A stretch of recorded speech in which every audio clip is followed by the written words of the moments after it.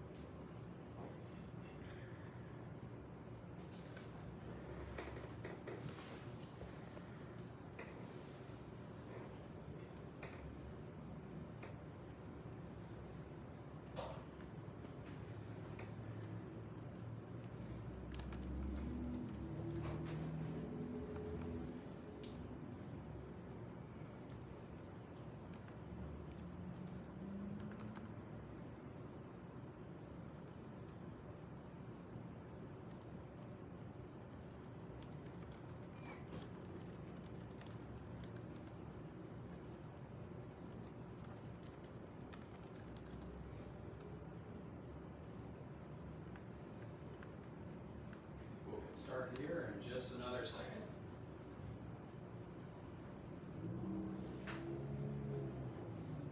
Hope everybody out there is uh, doing well, and I'm sure everyone's feeling a little cooped up, but uh, hope everyone's hanging in there, just like we are, and uh, looking forward to some better times ahead, that's for sure. Hi, AJ's mom. I'm not.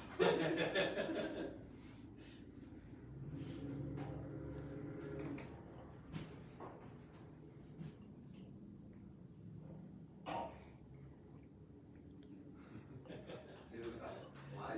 Yeah, we're just, uh, just so people can start turn, turning in and, and finding us a little bit.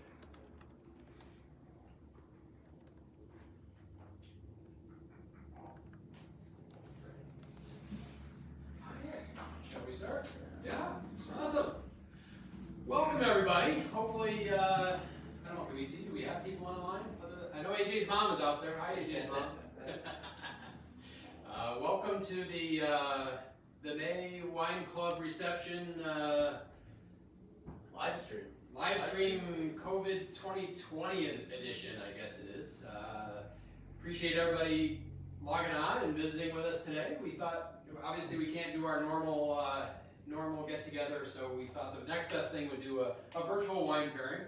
And I know, um, because the question always comes up, uh, one of the most popular treats uh, for the wine club is when Reverie Creamery comes to visit. So we're really excited to uh, to say welcome to Rico and to Nelson from Reverie Creamery, who will be joining us tonight and serving cheeses with our wines. And of course, you know AJ as well. Uh, hopefully, you can, can see everybody clearly. And who you can't see behind the camera is CJ and Maggie are kind of coordinating things, um, doing the filming as well as passing any comments to us. Uh, so feel free anywhere along the process if you have any questions.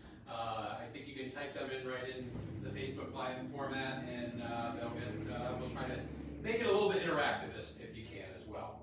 Um, so that's kind of the plan. Uh, we have seven wines to go through tonight, each with at least one cheese, in some cases two. Um, so we're going to move rather quickly because we don't want to. Uh, we want to respect your time. I know, you know, there's something on Netflix tonight. I'm sure that people want to watch. So, um, so we'll try to move around and just uh, take a couple of minutes talk about the wine, and then a couple of minutes talk about the cheese. Uh, maybe a little bit about the origins of the cheeses and some the process, perhaps, um, where it uh, makes sense.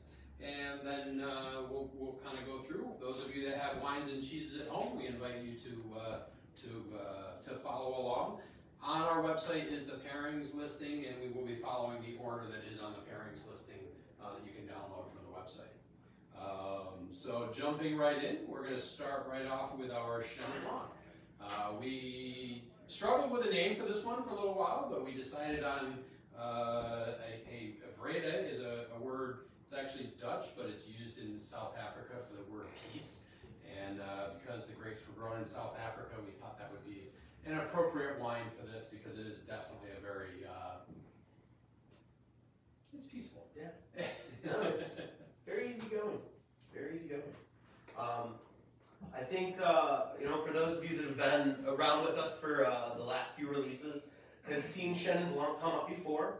Um, I think this might be one of the first times we've done it by itself. I believe so. Yeah. um, which is fun because it, it, it offers the chance to experience something uh, a little different, but not too far off from uh, those Rieslings um, and even some of the Gewürztraminers that we've had in the past. Uh, if we start right into this one, this was uh, an interesting wine, not only on the nose, but uh, straight through into the palate.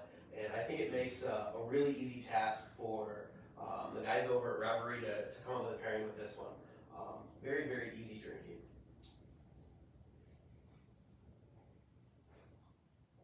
Um, you'll notice initially up front, this is a very clean wine. Um, not too much going on on the nose, but there is a very, um, very nice light apple and citrus tone. Um, definitely leaning towards a mineralistic character. Um, if you ever think about uh, metals or even a vitamin that you might smell, um, tends to be somewhat of a mineral characteristic. Um, but goes right into the palate. Um, very, very, very refreshing. Um, still on the dry side too, but a very nice apple, kind of a like floral characteristic, almost like an orange blossom coming through there as well. And our pairing tonight. Yes, hi. Um, hi everyone. Uh, thank you, Mike, for inviting Reverie again here. And this time I'm bringing Nelson, who's a cheesemaker, also cheesemonger at Reverie. So if you ever visit us at uh, Reverie in Chautauqua area, you'll see Nelson there, and he also taking is taking care of the cheeses and making some mixed cheeses that we sell at the shop. So um, uh, everything you can find on the website. So uh, the first one, um, I really love this um, Chenin Blanc. It's very, uh, it's great uh, wine for springtime. You know, so a day like this, uh, uh, something. I, I really love the crispness, the bright acidity, just uh, just right for uh, spring and summertime wine. And uh, this is perfect with any fresh goat cheese. However, today uh, we pair this with Boucheron. Boucheron is actually a log shape uh, goat cheese uh, from France in uh, Poitou area, which is in the center central region of France. And um, in about 728 AD, the Arab invaded France, and then when they uh, lost the battle and they had to travel back, they left all these goats, and that's why this cheese uh, making, goat cheese making, started in France. So bush uh, log, and then this is a very ripe uh, goat cheese, and as you can see now, you have at home the uh, this uh, this disc portion of it, which is cut from this log. I only we only have this piece left.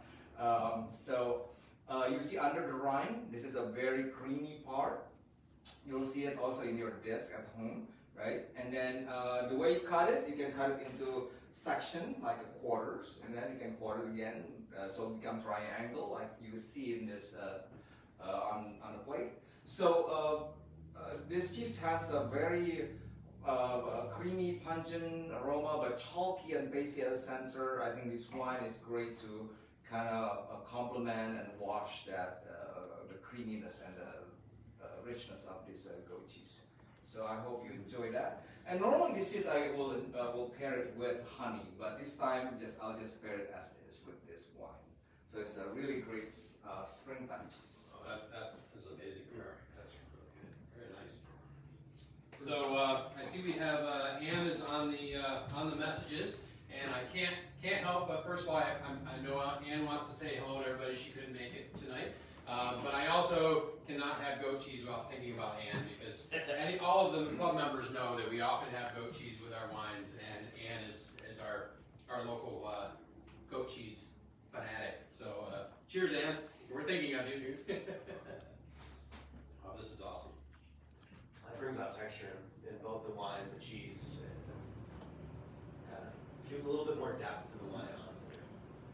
But that is, that is a very nice cheese.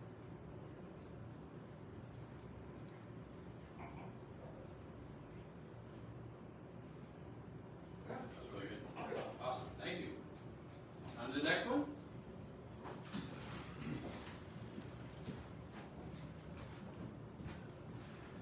Oh, sure.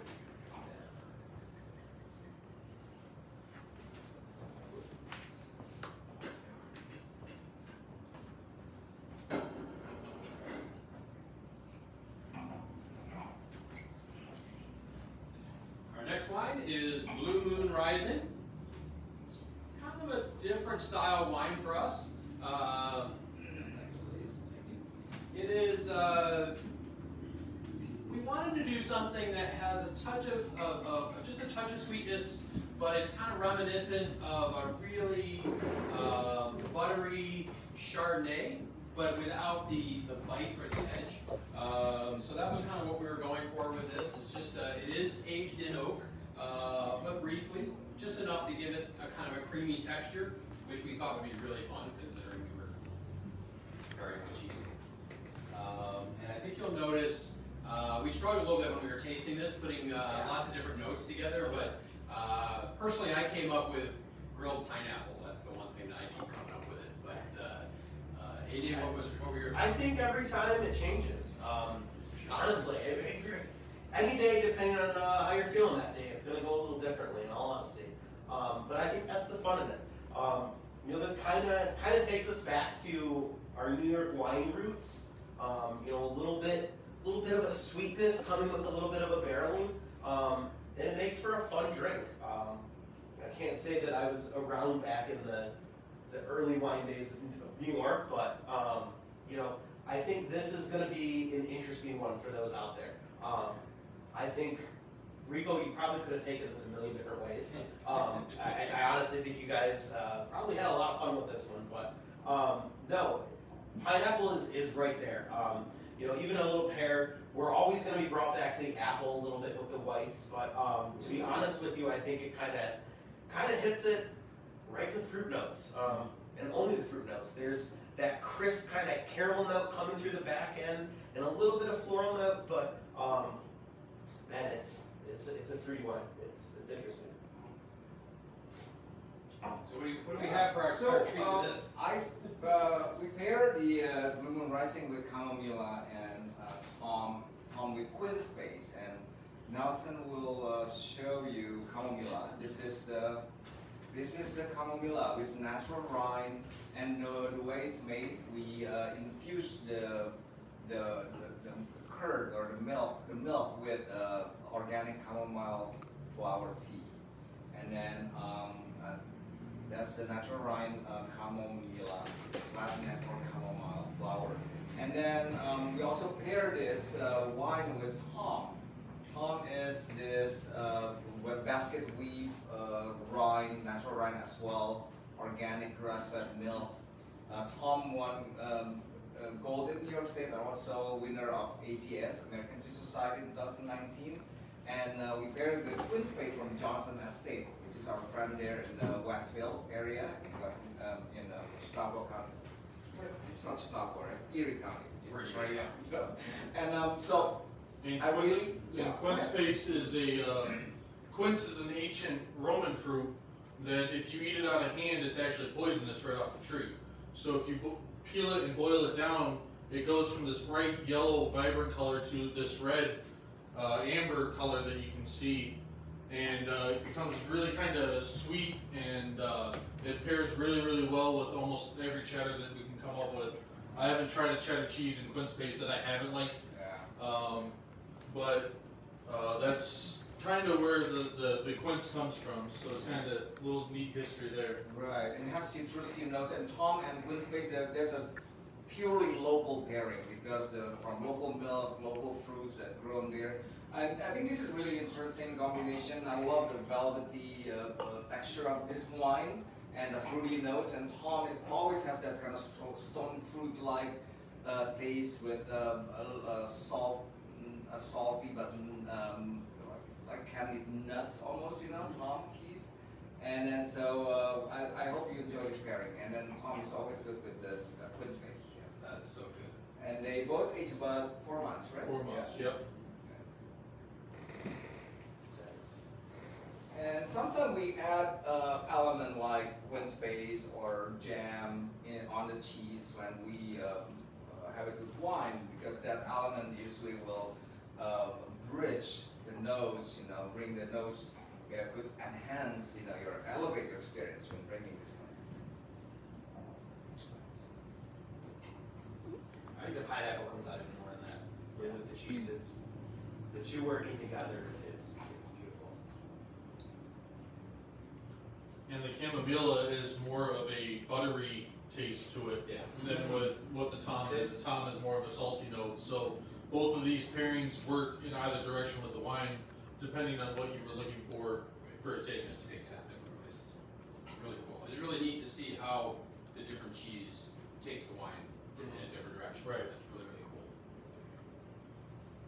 So is it quince, I, I had, I, I guess I haven't seen a lot of quince trees, but it, it, when you see the fruit, it's, it almost looks like a little pear? Is Yeah, that right? it looks like a beat up pear. Okay. It's very, very hard, and then you have to really with a very sharp knife, and and peeling it is hard too. I, I love working with quince, and then uh, you can poach in red wine, Mhm. and then um, you could use it as a side dish for your maybe grilled pork chops, you know, Okay. because it's uh, it has that uh, uh, uh, almost like rhubarb like, you know, when it's not uh, sweetened with any um, honey or uh, uh, what do you call it, uh, sugar.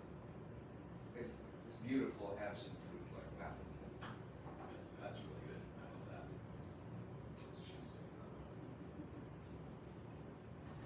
And um, uh, just a little quick um, uh, note on this, uh, Tom. When you get the wedge, I would suggest you know you cut from the side, you know, and then if you get the big wedge, you cut in a smaller wedge, and then you cut the end, and then you cut it this way, so you will get a nice triangle. So the shape of the cheese uh, that you have on the plate will follow actually the shape of the portion of the cheese. So um, uh, you know, try. I know what we see a lot is uh, cheese and cut in cube-like. It's, it's as easy and it is kind of. But this is also following the block, large block cheeses, right? This one is this shape. Then when you cut it to wedge, you cut it. This is uh, a portion that you will you will have, and then you, you cut into section. Always leaving a little bit of rind.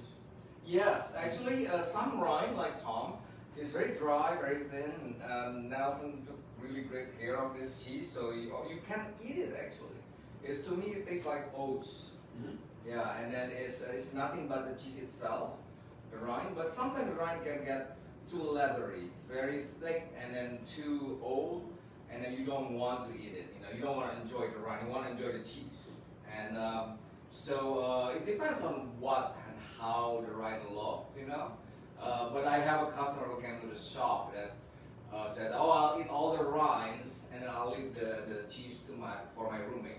That's crazy. and the rind is so old and leathery, and he loved this kind of funky, uh, smelly, thick rind. So, so who knows, right? I mean, um, Looks like people are loving the quince taste. That's uh.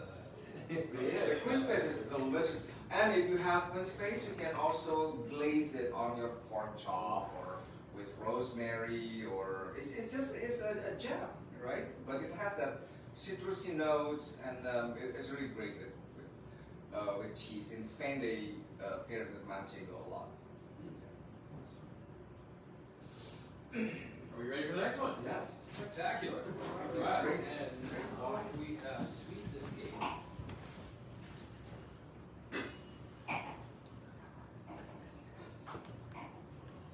Oh, yeah. Now we'll talk about this.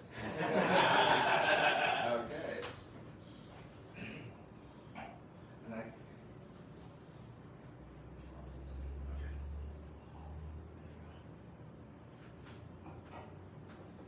So, s- Oh, s- Oh no, it's Cambozola. Yeah. Okay. Sorry, I thought it was. So this is, uh, we call this Sweet Escape. It's, uh, if you're in Western New York, today was just a perfect, beautiful uh, hint of what, what summer can be, and it just seemed perfect for this wine today because uh, a little bit of taste of summer in the, in the weather today, and this is taste of summer in a glass. This is just put your put your kid your uh, feet in the kiddie pool and uh, just kick back and relax and, and work on your suntan wine. I think after the third winter, it was uh, much needed. this is true. Um, no, I think um, I think this is going to be a fun one for, for those that have this and for those that get to try this. This is um, something interesting, something that we thought we would try, and something that we may do again. Um, moving past the fact that um, you know obviously there's a little bit of peach and, and raspberry in this. Um, you know, this is a fun, lemony, crisp, refreshing, and easy drinking wine. Um, uh, it's you, you need to sit outside, honestly. Uh, I think maybe you can take your phones back out there with you. We we obviously can't, but this is this is an outdoor wine. Um, it's very easy drinking, though it is sweet.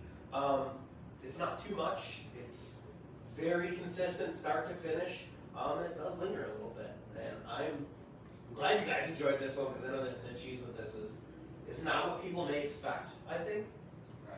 Uh. Yeah, actually, um, um, you. Can I speak about this? Yeah, no. Actually, uh, this is to me remind me of very aromatic, fruity, um, Yeah. floral. It's of, not. uh, of sauterne like, but much lighter in a way, and then it's great with blue cheese. And then this blue cheese actually is not uh, intensely blue. It is a triple cream blue created in um, in Germany, in south, in Bavaria area.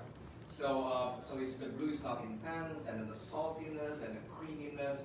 It's just great summer blue type uh, cheese that pair well with this wine. And um, the, the shape of the cheese uh, is round. Uh, I don't have the, the, the piece, but uh, the rind has a gray mold. It's really beautiful. And uh, I think it's one of my favorite pairing. And when we tried it, I just love the uh, how they kind of They each other. Yeah. They really They do. really yeah. do. Yeah. Um, That is the creamiest. It, it, it has a little bit of blue blue cheese flavor, but that creaminess is just unbelievable. it. That is really a neat cheese. the deep cheese. This this cheese also pairs really well with uh, uh, maple syrup. So if you drizzle a little maple syrup or a little, uh, if you infuse the maple syrup with the uh, red chili flake and then drizzle it over that cheese, that, that pairs really well with it too, just to kind of amplify it, just just that extra notch. Um, Yeah, That sometimes sounds really good. That's the, yeah, the idea of uh, contrasting, you know, the, um, the salty element of the blue cheese. Blue cheese has a little more salt than uh, regular cheese. And then with the sweetness of maple syrup or sweet of uh, honey is great with the blue cheese as well. But it just depends on what kind of blue cheese and the sweetness of the uh, syrup should be uh, you have to balance it with the uh, the intensity of the blue, and I think uh, that's why blue cheese is always a perfect perfect match with the uh, like uh, uh, Roquefort with Sauternes, for example, or um, what else like the, a with uh, Stilton. Yeah. So, So those are the idea, but those are very intense, uh, intense blue, blue and intense uh, sweetness of the uh, fortified wine, right? But uh, this one is just perfect summer wine, like you said, summer The, cheese. the wine is a little kind of softer and lower key, and the, and the cheese is just perfect to go with it. Neither one overpowers the other. it's not, not like your normal fruit wines. It's not. Uh, Yes. It's not what people may expect, uh, especially going from what we've done in the past. Um, you know, it's it's very easy going. It's um, it's got the fruit coming through. Um, it does have a little bit of a kind of a floral note too that you, you had mentioned before too, and I think with that blue cheese is kind of exemplified um, a little bit, hides the fruit a little bit too. It's nice. I like That is really, really good.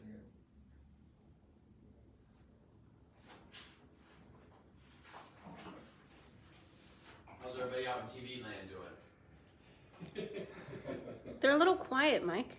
I'm a little quiet. No, They're they quiet. are. They're quiet. Well, there's Dean. Hi, Dean. We do have four wines to go. It is early. This is true. You Well, know, we might we might get them out of the show. Are we ready to go to the Blushing Merlot? Oh yeah. So, as you know, we uh, every spring try to feature a new rosé wine, um, and this year we did a we, we kind of brought back an old favorite. Uh, we've had uh, white merlots on the shelf in the past, but I think if you are familiar with them, we, they've always been a little on the sweeter side. And this time we, we wanted to go a little bit drier without it being uh, too acidic or too edgy. Um, and we really wanted to have a nice silky texture with this wine. And I, I think uh, I think AJ hit it right on the right on the head. It just has this beautiful texture to it. Uh, it's got some nice body, but yet it still is refreshing and, and spring-like. Uh, Can we, can we talk about Merlot without mentioning sideways? Is that possible? Um, I, well, I don't want to count that one because I'm not. Uh, I, I think if people give this a, a chance, it's not what everyone's expecting. Um, you know, Merlot's always gotten a bad name and a bad rap, and in all honesty, a movie will do that to you. It'll drop your industry quite large. Um, but this isn't what everyone will expect. Um, you know, when you go to uh, other places and, and the wine store, you, may find stuff um, that'll say white Merlot, and it, it, if you've had it before, it's not going to be like this. Um, this is pure and simple, letting a grape speak for itself, um, but also, uh, you know, trying to do a rosé method. Light skin contact with juice um, gives us a more realistic flavored wine, a more, um, a more right, I should say. Um, but we'll dive into this one. Um, I really enjoy this wine, especially the with the, the cheese that we selected, and um, Nelson can show the. Uh, this is the wedge. It, just comes in about 16 pounds wheels. It's very, it's quite large, 16 to 18 pounds, and it's a hybrid of cheddar and Parmesan, and the cheese is soaked in the Merlot, so it gives that kind of fruity aroma. It has a creaminess, slightly tangy, and nice sweetness, and and um, and has a, a grit to it, like a little texture, uh, because of the the way it's made. You know, the, the breakdown of the enzyme to the protein causing that kind of tyrosine in the cheese. So the cheese um, won multiple World Cheese Awards and very very consistent from family in Wisconsin, um, Sartori family actually. And um, so yeah, I hope you enjoyed that. And this is we really like this pairing um, and I really like the wine. It, it really, uh, the texture of the cheese and the texture of the wine is really, really cool. No, I think if we if we move past the port wine cheese of the '90s, I think how often do you actually see wine being used in cheese making? How often? Yeah. Um, quite a lot actually. Yes, a lot. And um, yeah, I mean, uh, in France, for example, a lot of this washed rind cheese is washed with some wines to create that stinkiness, you know. And um, yeah, I mean, sometimes you know when uh, making a cheesemaker, sometimes they um, uh, there's a some kind of saturation point. You know, you uh, once you develop a cheese and you're successful with it, you know, uh, you need to be you want to be creative. It's like this Bella Vitano, actually, there's a base for it, and then uh, the the maker uh, decided to you know have this Merlot, and then espresso. There's balsamico. So they're uh, but the base of it is the same thing. So, so yeah, it's, uh, I think a rosemary or something like that, maybe, that we had at one of our other events. Okay, uh, yeah. Once before, that Oh, was, was very popular. But, uh, no, that, that's a, that's a lovely cheese, Yeah, that's it's so so good. I, I really like the Merlot soak on the outside, it just, uh, gives it a little bit of tanginess. Mixing up. Good. I enjoy that. That's, I think that's one of my favorite pairings so far, honestly. Um, it's it's not what you expect, you know, to get to get a white merlot that isn't overpowered with sweetness, and to have something that's a little bright, a little citrusy, um, and a little bit heavier than I think most people might expect on this one too. It's it's got some body to it. I think that's why it's able to to stand up with that uh, Valentano.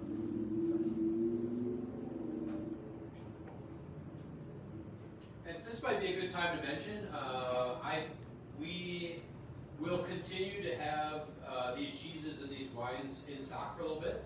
So if people didn't get all the pairings, or they got one and then they, you know, fell in love with a particular one as a result of this, or anytime later, stop by the winery, we will have, we'll try to keep these cheeses around for a little bit while, they'll continue to be available on the website as well, so.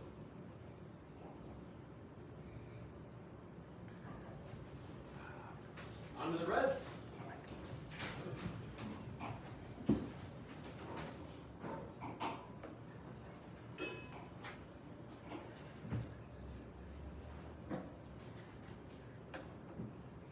are headed down to the southern hemisphere. We're headed down to Chile. Many of you uh, club members know that uh, I'm, a, I'm a big fan of Chilean wines, and we tend to do a lot, a lot of wines from grapes grown in Chile. Uh, this particular wine even has a little bit more uh, nearness and dearness to my heart, perhaps, than many others, because uh, the label uh, that CJ designed and is very, very cool actually has uh, the artwork on the label was photographed by my daughter when we were down in uh, Valparaiso a couple years back. Uh, Valparaiso, Chile is known for their street art, and this is a part. This label actually is a, a picture of a, uh, I guess it's a, is it a gecko or a lizard, perhaps? I'm not sure. Uh, painted on a stairway. When you walk through the streets of Valparaiso, there's just this beautiful street art painted on all the buildings throughout the entire city. It's just, it's, very, very cool. Uh, so we thought we would kind of take that uh, theme and we named this wine Buena Onda. Buena Onda literally translates to uh, good vibe, Yeah. I believe it is. Just good vibe, good time. Um, and, that- and that just seemed appropriate for this wine. It's uh, it, it, technically it's a kind of a Bordeaux blend wine, but yet it's uh, a little bit on the uh, medium bodied side. It's not overly overly big, um, and it's just a nice transition into the into the reds. No, I think um, I think this is one of those um, this is one of those fun wines. Um, one of those fun reds where you know something like this you would expect to be very heavy, and it really expresses Chile's Chile's wine region. It's a very hot area, um, but what's nice about it is is it creates a little bit of a, a lighter body wine, um, very flavorful and very impactful. Um, but if it wasn't for Chile, you know, wine wouldn't be the where it is today. Um, this does have a good bit of Carmenere, and um, you know, Carmenere is one of those grapes. Um, say uh, the early 1900s, actually late 1800s too. Yeah. Uh, phylloxera and crop damage caused uh, Carmenere to be pretty much non-existent in France. Um, and it wasn't until you know, the late 1960s, I believe, 1970s, where um, a couple of farmers decided to test some of the um, Merlot grapes that they thought they had been growing, and uh, shortly realized it was Carmenere. Um, so it's it's kind of an homage to, you know, grape wine. I mean, that's if it wasn't for them, we wouldn't have some of the stuff we have today. So it's pretty amazing. But So we should say this is a blend of uh, primarily Carmenere, but it has Cab Franc, Syrah, and it also has a kind of a local Chilean grape uh, that I'm gonna gonna butcher the name, but it's uh, Pais, um, which is kind of a lighter bodied, um, kind of kind of a makes a, a lighter, thinner, acidic Yeah. style of wine, but it gives it a little bit of backbone, which is which is really sort of a mouvette, I would say, similar to like a mouvette. Um, you know, this is a very, very light, nice, jammy wine. It's a tart but slightly fruity. Um, there is quite a bit of uh, quite a bit of jam going on here, um, which I think gives it a little fun for you guys to mess around with, right? Yeah, yes, uh, yeah. One thing I love uh, doing this with Mike, I love to hear his story going, traveling. It's, so much fun and listening to, you know, in wine there are like 400 volatile chemical. Anyway, so that's why you can describe the uh, the uh, uh, the the taste in a wider spectrum than the cheese, for example. But it's always fun to uh, to you know to learn this you know from the winemakers.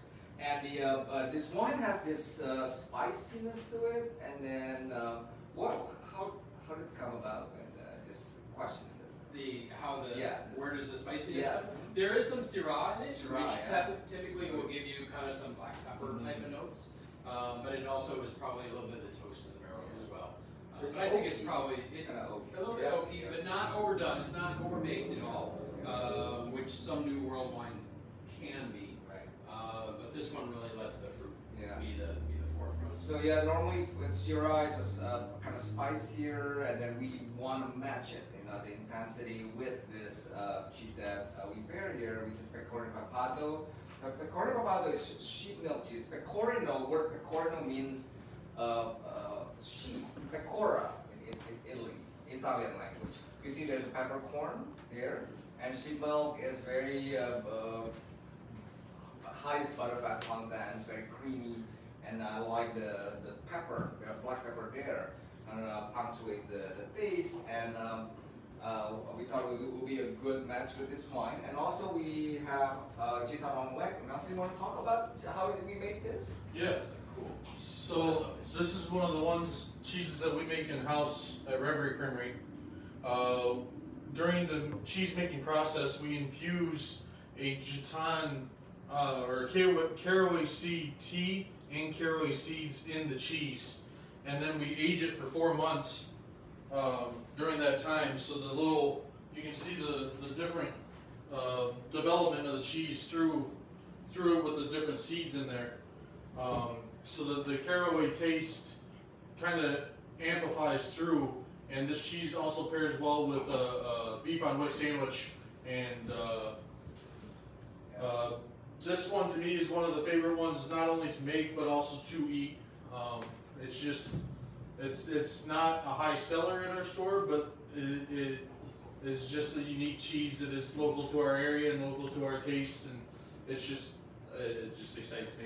I feel like a little panini with just maybe one little slice of Oh, yeah. roast beef in it and that. and- Yes, yeah. A little horseradish cream sauce. Oh, and yeah, a little- there you go. Oh, all the salad, so and good. all, Yeah. like open face, tartine, Yeah, yeah.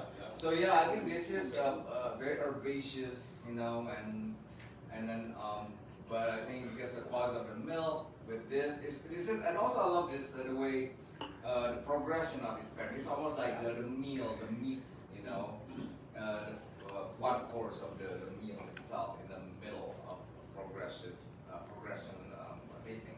So as you notice too, the uh, the rind is natural rind, just like most of our cheese. This is the art of affinage, which is the finishing of the cheese, which is um, uh, re- which requires um, an environment like a cave. You know, you have to have a certain uh, humidity, certain temperature, and airflow, so the cheese will uh, uh, create that beautiful ride. Natural. I said beautiful. I don't want to brag, but I, but I just think that Nelson You did a great job.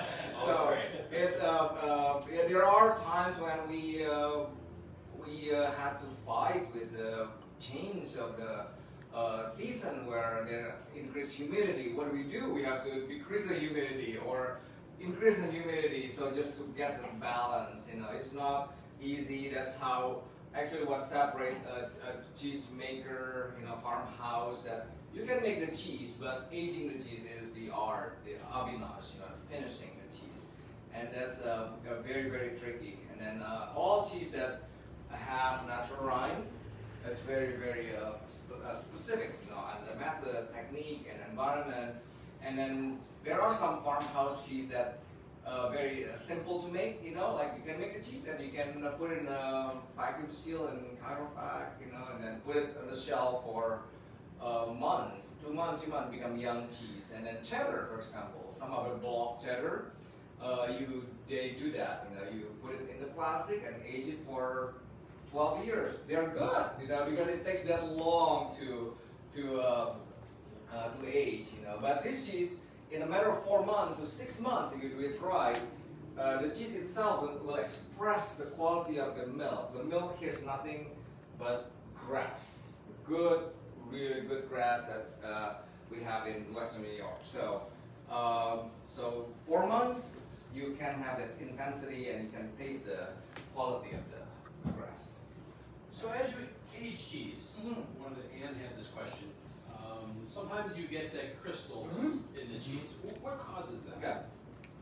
Okay, through the uh, through, uh, okay when the cheese is uh, aged and uh, there is an enzyme uh, and uh, in the and then bacteria, good bacteria, microflora in the milk uh, that break down the protein. The long chain amino acids got broken down into tiny little pieces, and then they become. Uh, the call, it's called tyrosine. Tyrosine is the name of that crystal.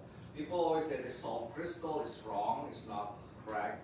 It's called tyrosine. Tyrosine is the amino uh, uh, residual amino acid protein that break uh, broken down by the enzyme and bacteria through the long aging process.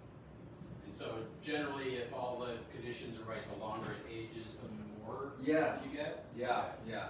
And uh, several cheese like different technique, like cheddar, for example, the way it's made, uh, uh, create, uh, uh, you, you- can, uh, uh, Parmesan, for example, you can, sometimes you can, uh, find that, uh, long aged Gouda, twenty-four months, twenty-six months, you find those crystal, you know, I mean, uh, younger cheese normally you wouldn't find that.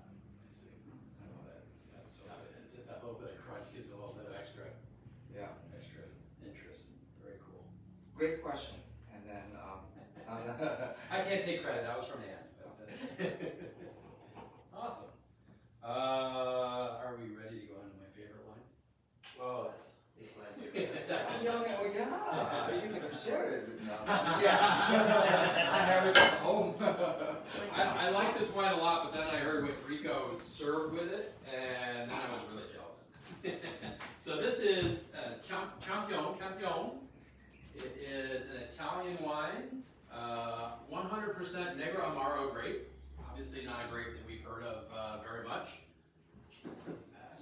Um, it comes from uh, Puglia region of Italy, which, if you're looking at the, the boot, it's the down in the heel. So uh, kind of southern uh, Adriatic, right side of Italy.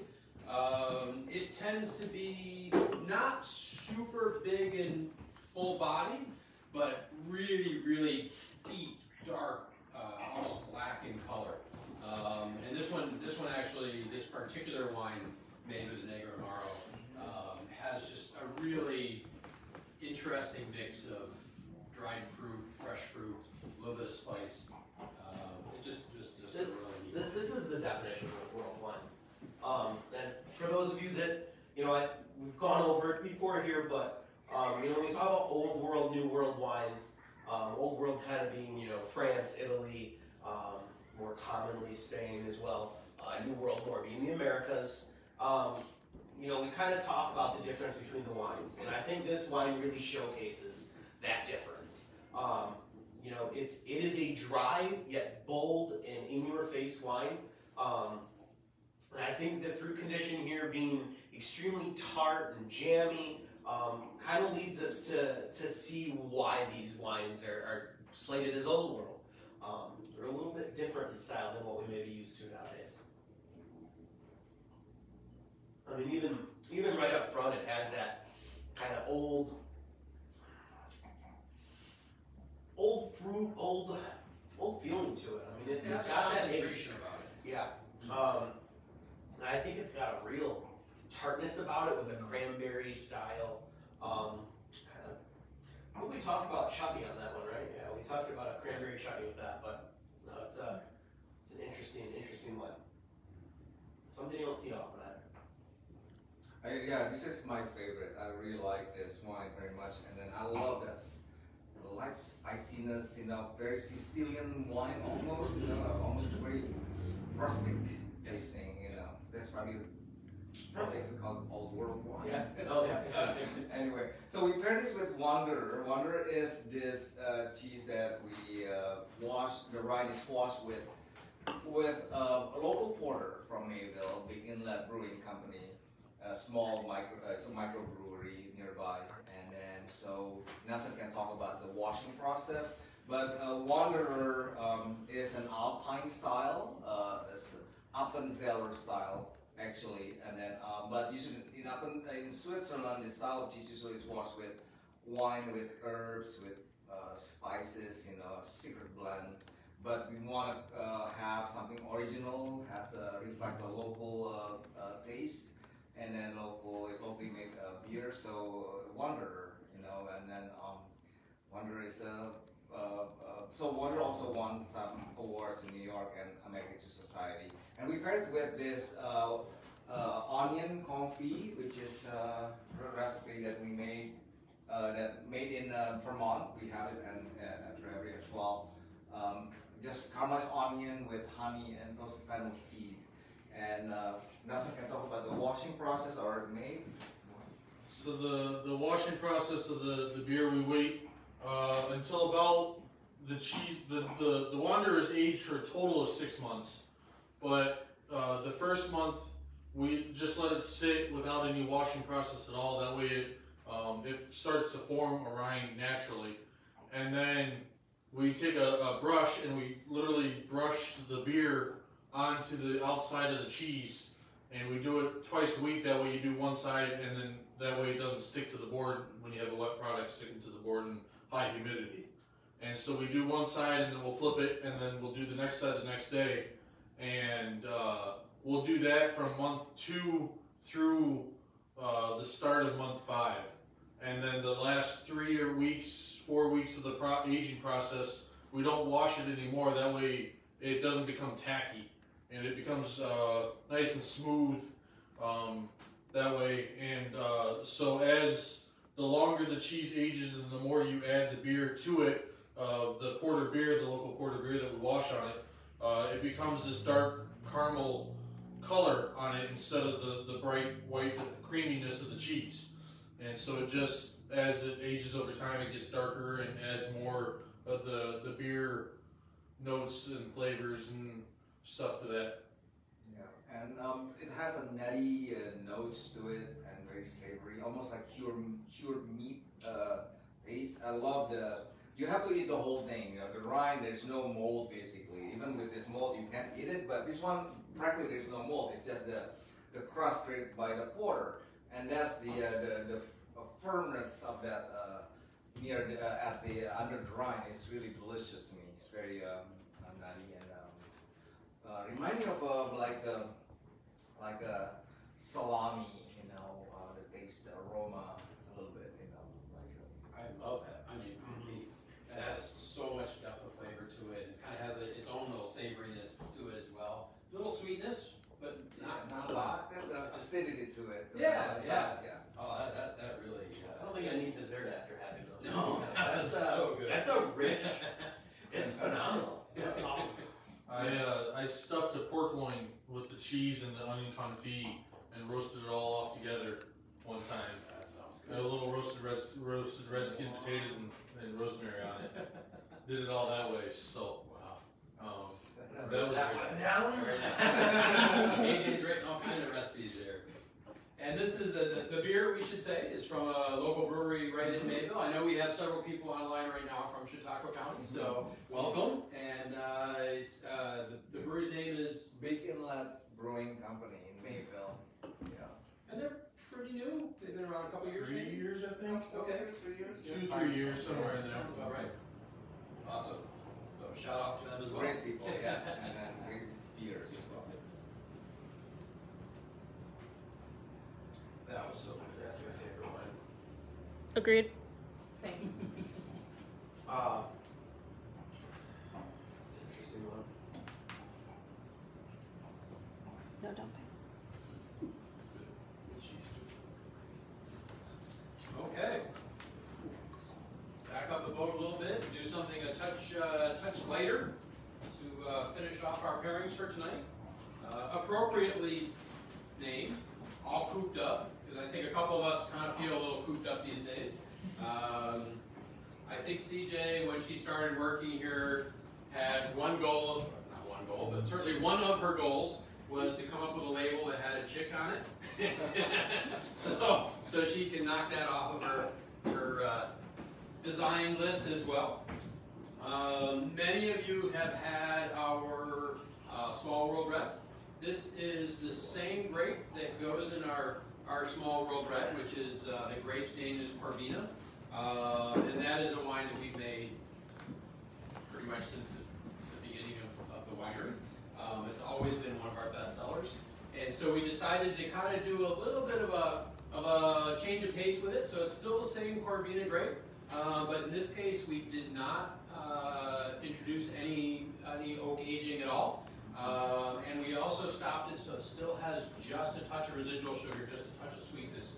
Um, so we just thought it would be kind of a kind of a fun, easygoing wine, and it's kind of a nice place to uh, to wrap up our pairing tonight. No, I think I think this shows kind of some of the fun stuff we've been doing with winemaking, um, and, and the availability of stopping fermentation, um, the availability of um, you know making these really big and bright wines, um, yet not sacrificing anything with that. Um, and I think that's exactly what this is. People will be very surprised, but this is a massive fruit bomb, um, and I, it's very enjoyable. Um, this is even maybe one of those reds that you're looking for uh, a sipper outside like today. Um, you know, it's very fruity, very easy drinking. You really don't even have to have food with this one, to be honest with you. I mean, grab some cheese, sit outside, glass of wine, you're good. Think this is a great one. Yeah, and uh, we pair this with uh, fromage the d'Affinois in, from France. Uh, it's, um, it's very creamy. It's not a brie. It's a, uh, the technique is very different than brie making. And uh, they use this uh, technique called ultrafiltration, basically removing the water content, so intensifying the, the quality of the cream. And it's a double cream type of uh, soft ripened cheese. It's not a brie but it is a fromage d'Affinois, which is cream cheese. It's very un unusual pairing, and then I thought, why not just put something creamy, and Nelson can tell what it tastes like, and it is really has some, almost like an ice cream, basically, but it's, uh, the, you notice the creaminess from top to, from rind to rind, basically. The brie is not the same way. So. So when we Rico and I did our own little pairing of it the other day, the very first thing I thought of when we tried this cheese with this wine was that it was a raspberry sundae. And that was the, that was the first thing with just the creaminess of the cheese and the, the fruitiness of the wine. I was like, this is just a raspberry sundae waiting to happen. You're not wrong. You're not wrong at all. so uh, we added raspberry hibiscus also from Blake Hill in Vermont. Really great company that we collaborate. That who, the one that makes uh, our um, onion confit. Uh, this raspberry hibiscus is not sweet. It's just nice acidity and brightness. And then um, you can use whatever jam you have at home, raspberry or whatever. A lot of uh, uh, bright red uh, berries uh, will be good with this type of cheese and with this wine, of course. You're right, that really just, just, just pumps everything up with that little bit of, little bit of raspberry, oh, that's so good. It's rich. So, when we, when we speak of cheese, we talk about double cream, we talk about triple cream. Help me understand, what is, what is that referring to? What does that mean? It's uh, it's just additional uh, extra cream in the making of the the, the cheese. You know, there's uh, uh, full milk. Um, brie normally is made with the full milk, just straight. You know, and then if you add more cream, it's become much creamier. You know, and then um, triple cream is super creamy. It's almost like a ice cream. You know, very. So it's the percentage of milk to, to heavy cream? Yes, yeah. You add a heavy cream into I it. see. Yeah. I see. cream is basically, uh, I think everybody knows about this, but uh, yeah, it's just uh, uh, depend. Uh, some cows uh, has a higher butterfat content. For example, Jersey has the highest butterfat content. Uh, some of the rare breed like Guernsey or Ayrshire also has a higher butterfat content than Holstein. Holstein is the one that you see mostly the black and white, but Jersey is the uh, brown honey color, you know, uh, cows. They're very mellow. And of course, I didn't learn all, didn't know all this when I was living in the city. Now, since I'm studying cheese making, traveling to Vermont, I just, I really enjoy learning, you know, uh, finding out about uh, breeds of, uh, of uh, cows. And each breed uh, really uh, uh, create a, a gift that uh, a definite uh, flavor or intensity in the in the level of uh, the, the, the fat uh, in, in, in milk. Yeah. So, so, yeah. So Holstein uh, cows usually uh, the milks are for uh, drinking milk, and then uh, uh, Jersey and others, you know, the high butter usually they take the cream out and uh, make butter or add it into the cheese into a triple cream or double cream type soft ripened cheese. Interesting. I always thought brie was either double or triple cream. I didn't realize it's technically either. Yeah, just a full milk uh, Okay. type, you know. Um, yeah, you can make that. I mean, it's a. It's, there's no really a. You can make a, a double cream brie. You can do that, but uh, a lot of this commercial type breed that you will see is very supple and kind of rubbery and thick rind, you know, like commercial type. Um, um, it, it- it's meant to be, uh, it's made for, created for, uh, designed for a longer shelf life and travel.